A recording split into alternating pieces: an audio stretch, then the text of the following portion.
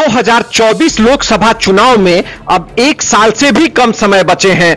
वैसे तो यह चुनाव देश भर में होगा, लेकिन इसकी सबसे ज़्यादा सुखबुगाहट बिहार में दिख रही है। बिहार के नेता या पार्टियाँ अपनी अपनी राजनीतिक गोटियाँ सेट करने में जुट गई हैं। हर सीट के लिए समीकरण समझने की कवायद की जा रही है। इसी में कुछ खबरें या कयास सार्वजनिक हो रही हैं। इसी कड़ी में बिहार के बक्सर लोकसभा सीट को लेकर एक नई खबर आई है। खबर है कि बक्सर लोकसभा सीट से एनडीए के संभावित उम्मीदवार मनोज तिवारी होंगे। फ़िलहाल मनोज तिवारी दिल्ली की राजनीति में सक्रिय हैं और वह नॉर्थ ईस्ट दिल्ली से सांसद भी हैं। मीडिया रिपोर्ट की माने तो मनोज तिवारी को बिहार में सक्रिय रहने के लिए कह दिया गया है। बीते दिनों बागेश्वर बाबा जब बिहार आए थे तब भी मनोज तिवारी बिहार में ही थे और उनकी खासी सक्रियता रही थी। मनोज तिवारी का ज़्यादातर समय बिहार में बीत रहा है।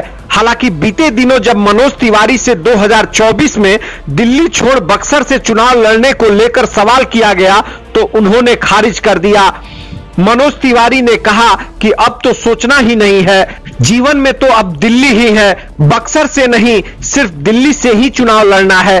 हालाँकि बीजेपी आला कमान चाहती है कि मनोज तिवारी बिहार के किसी सवर्ण बहुल सीट से चुनाव लड़े। इसके लिए बक्सर लोकसभा की सीट मुफीद साबित होती है।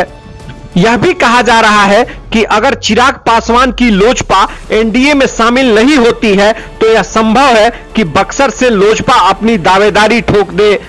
लोजपा के उम्मीदवार के तौर पर हुलास पांडे प्रबल दावेदार माने जा रहे हैं। हुलास पांडे न सिर्फ़ बक्सर और भोजपुर इलाके के बाहुबली हैं, बल्कि अकूत दौलत और सियासत में भी गजब की पैठ है। हुलास पांडे पीरो के जदयू विधायक रहे नरेंद्र पांडे उर्फ़ सुनील पांडे के भाई हैं। सुनील पांडे की छवि भी बाहुबली की ही है। जदयू की टिकट नहीं मिलने पर वे भी लोजपा से जुड़ गए थे। हुलास खुद बिहार विधान परिषद के सदस्य रह चुके हैं।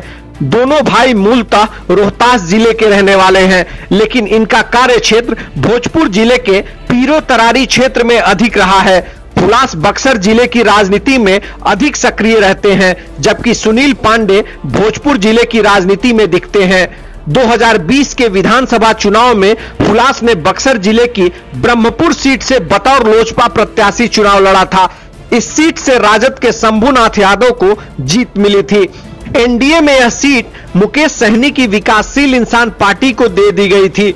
कुछ साल पहले एनआईए ने हुलास पांडे के कई ठिकानों पर छापे मारे थे। 45 लाख कैश और डेढ़ किलो सोने की बरामदगी हुई थी। एलजेपी बाहुबली पर पैसों की फर्जी लेन देन का भी आरोप लग चुका है। सरकारी कर्मचारियों को धमकाने के भी आरोप लग चुके हैं।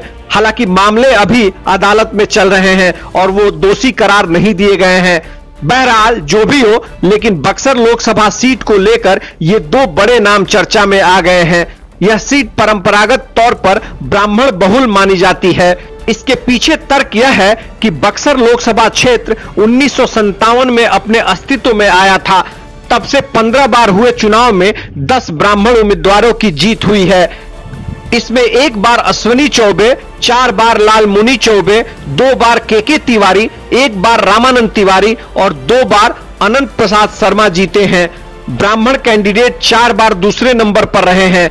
वहीं इस सीट से तीन बार राजपूत कैंडिडेट का कब्जा रहा है।